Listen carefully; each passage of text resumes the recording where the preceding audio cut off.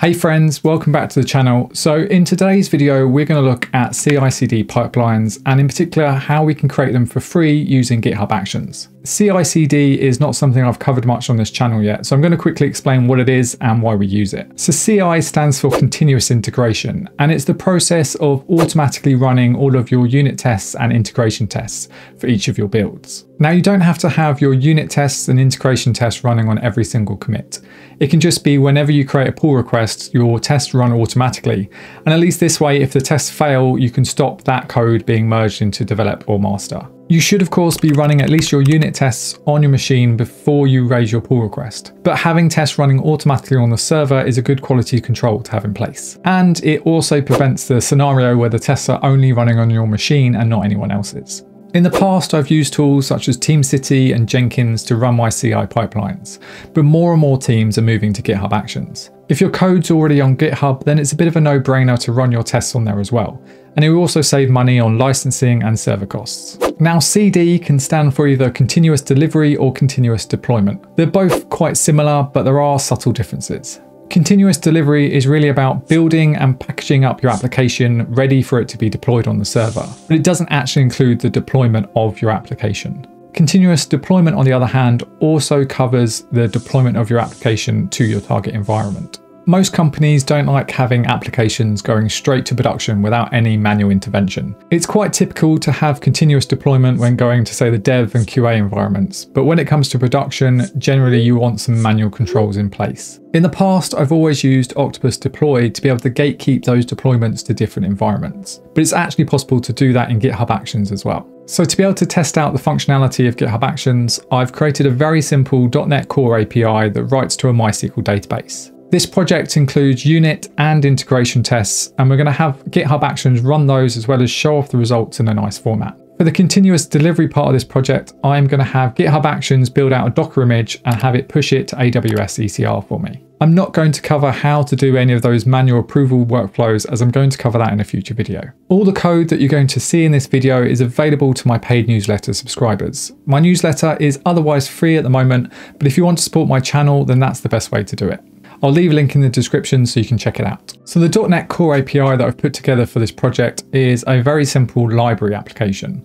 So think something similar to Goodreads. So this application is really made up of three layers. We have our API layer, which has all the controllers, all the endpoints, and handles things like validation. We then have the service layer that handles all of the business logic. And then we have our persistence layer, which is saving everything to the database. I also have an SDK which I've written using a great .NET Core package called Refit. And this is what I'm then using in my integration test to be able to call my API. So I've got some endpoints for adding authors to the database, as well as getting them either singularly or as a paged result. I then have another controller that lets you add books as well as retrieve them in a similar way. On the test side of things, I've obviously got unit tests. I haven't done a complete set, but there's unit tests for both the controllers as well as some for the service layer. And then for the integration tests, I've got some tests that show that you can create an author and retrieve it, as well as creating a book and retrieve it. And these integration tests aren't using any of the API code, they're just relying on the SDK. So in order to be able to run the integration tests in GitHub Actions, we need to have the API running as well as the database. And the way we do this is with Docker.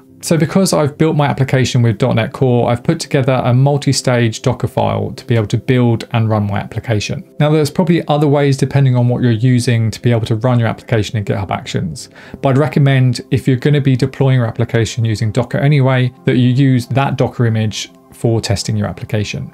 So there's a few things that make up a .NET Core Docker file. We have first, we're going to use the SDK image from Microsoft. So this is what we're going to use to build our application. We're then going to copy across all of our project files, and this is so that we can run .NET Restore against them. Now the reason that we separate this instead of just copying across everything is because .NET Restore is quite a lengthy process. You've got to download all the NuGet packages and by separating it out we can basically benefit from the cache layers that we have in Docker. So provided you don't change any of these project files by adding in any additional dependencies, it means that when you run .NET Restore, it should cache that layer and not need to run it again, even if you change the other files in your application. Once .NET Restore is done, we then copy across all the other files and then run .NET Publish in release mode to be able to build our application. Now, of course, we don't want to keep any of these source files as part of our Docker image because it's going to make our Docker image quite large. We're then going to get the .NET runtime image and we're going to copy across all of the files that we've just built in the other container. And you can see here I'm exposing port 5275, which we're then going to use later on to call our API. So as I mentioned earlier, to be able to run the integration test, we also need a database running in the back end. So I'm using MySQL for this, and I'm just using the standard MySQL image. So you can see here in my Docker Compose file, I have a database service set up using MySQL 8 and I have some very basic and not very secure passwords set up here just for use for testing. And then I have our API set up and you can see here we've got build dot because the Docker file is in the same folder. And then we're tagging this image with GitHub Actions demo.api and then version. And I'll cover where that version is coming from in a bit. So you can see here, I've got the port set to 5275, but I'm then mapping that to 5200 in the Docker Compose file. And this is so you can run the Docker Compose file with the database and not worry about any port clashes when you run the API locally on your machine. So if we run Docker Compose up, we can see that this is going to spin up our MySQL database as well as our API as well. We can then use something like Postman to be able to call our API and make sure that everything works. For the paid subscribers that have access to this project, I've also included this Postman collection as part of it, so you can easily test out the API. So that's how this API works. Next, we're going to have a look at the GitHub Actions file and see how we can put everything together so we can run our tests in GitHub. So GitHub Actions does have a very generous free tier. You can run the standard Linux runners for free if you've got a public repository. For private repositories, you have around 2000 minutes a month that you can use for free. This is only for the Linux runners. If you opt for the Windows runners, then you're going to use twice as many minutes.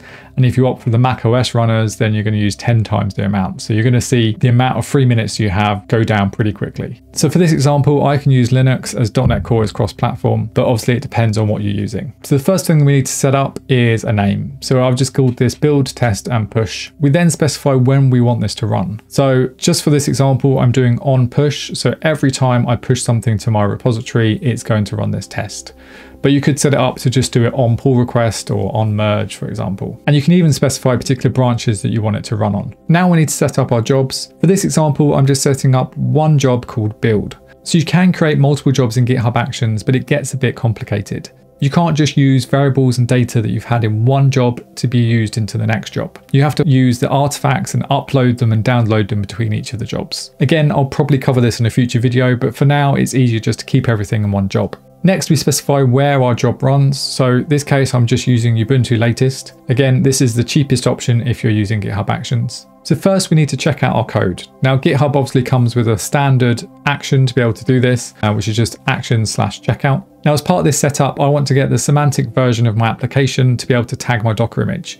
And to do that, I'm using GitVersion. But I found out with a bit of trial and error that GitVersion doesn't actually work unless you go and grab the tags using git fetch. So I've got this line to be able to fetch an unshallow copy of my code. I can then install GitVersion and then run GitVersion execute to be able to get the semantic version of my code. Next, we're going to set up .NET as I'm using .NET. And here we specify the version. So I'm using .NET 7. We then need to run the same commands that we would do if we were building an application on our machine. So in this case, we run .NET restore to build our dependencies and .NET build to build our project. So now we've got our .NET code built on the GitHub runner. So next I'm going to run my unit tests. So I'm running .NET test and I've got a filter here with a category equals unit. Now I can do this because I'm using XUnit and I've set up a trait to specify the category. So when I run my unit tests, this is going to produce a test results file. And this is because I've got this VS test logger set up in my project. Now I've set this up so that it will put all the test results into a test results folder inside the test project.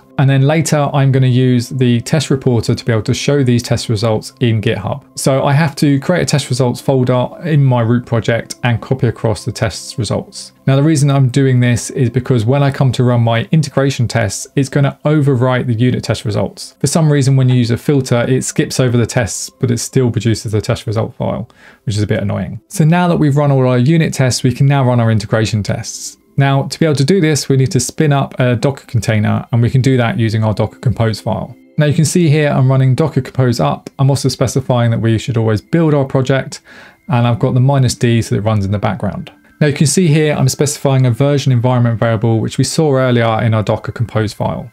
And this is going to get the NuGet version which we found earlier using GitVersion. And this is going to make sure that when we build our application in Docker Compose it's going to tag that image with the correct version. Now in the next step, we're just going to sleep for 30 seconds. There's probably a better way to do this. You could call the API to see whether it is up and running, but this was just the simplest way to do it. Now the reason we have to do this because if we jump on to running our integration test straight away, then the Docker containers might not be up yet and it will just fail. Now for our integration tests, we're just running .NET test again because they're just XUnit tests. And this time we're filtering by category integration. And here I'm specifying the base URL in an environment variable so that it knows to call the API that's running in the Docker Compose. And again, once that's run, we're going to copy across the integration test results into our test results folder. Next, I'm using this test reporter action from the GitHub Actions Marketplace. This gives you a nice view of all of the tests from your application and whether they've passed, failed, or been skipped, and how long each of them took to run. Now, the best thing about this test reporter GitHub Action is it also works with lots of different languages. It works obviously with .NET, we've got XUnit, NUnit, and MS Test, but it also works with Dart, Flutter, Java, and JavaScript. So if you're using any of those, you can get a nice report from your test results. And you can see here we've got if, success, or failure,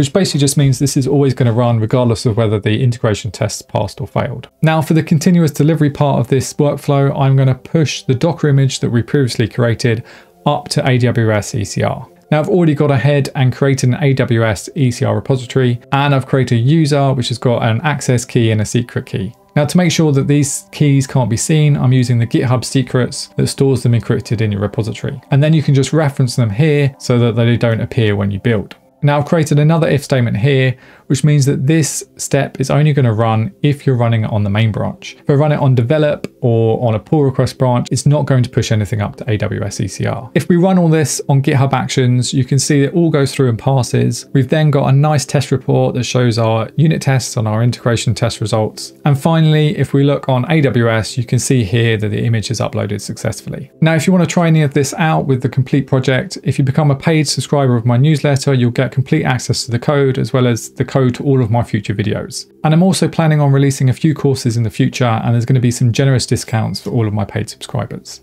Thank you for watching this video. I hope it's been helpful and I'll see you in the next video.